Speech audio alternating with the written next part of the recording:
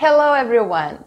Go by when referring to time means to elapse, to pass. Time went by very quickly. Last month went by so fast. Three years went by. Now write a sentence using go by in the comment section below and improve your English.